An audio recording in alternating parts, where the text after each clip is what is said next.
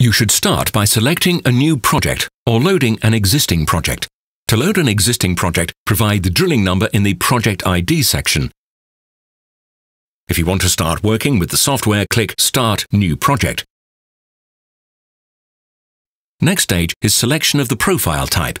If the whole drilling project includes profiles of different types and sizes, you can add them later. In this working space, you should establish the profile parameters, such as height, thickness, length, and the quantity of given type of profile. Other parameters are selected automatically. After entering the variables, confirm your choice by clicking Next. Now it is time for the most important stage, moving the holes to the profile. The screen is divided into two parts. The upper part visualizes the profile. The lower part is designed for establishing the location of the holes. It is important to note that the holes are moved to the profile based on the y coordinates provided, vertical, and x coordinates, horizontal. Start adding holes from step 1 for determining their type. There are round holes and the so-called beans. Their sizes are provided in millimeters. The next stage is determination of the location of the selected hole on the y-axis, vertical. Step 2. Click Add another. The profile visualization shows the hole automatically at 50 mm above the lower edge of the profile.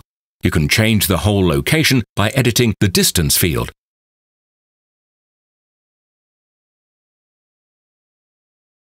You can also add several holes of the same type at once, vertically.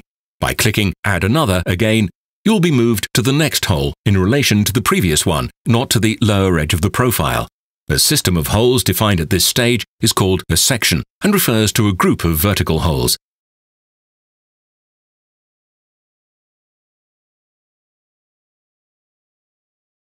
In step 3, you determine the location of the section of holes on the x-axis.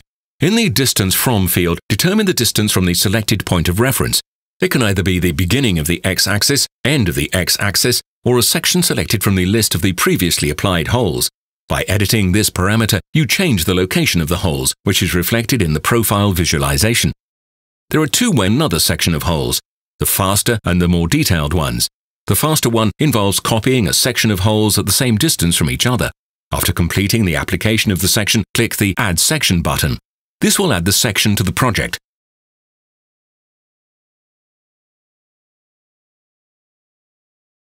The second way is more detailed and allows you to start another section of holes from scratch. To start working with another section, click Add Section, which also means acceptance of the currently edited section, and click Add another section.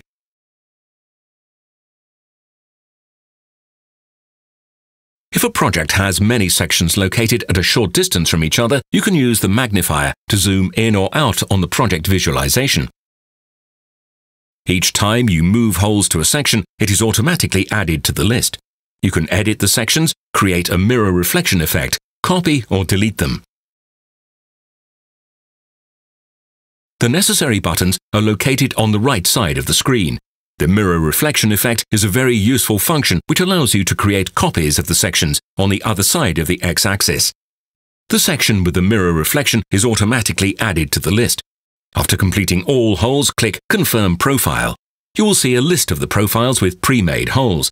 At this stage, you can add another profile, edit another hole, add a name, or change the quantity of profiles, or finish the project. Generate a PDF file with all holes.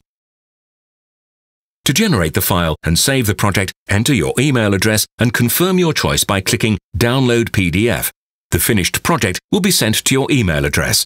It includes the list of profiles, drawings for all profiles with holes, and the project ID number. When you restart the software, the project is automatically loaded.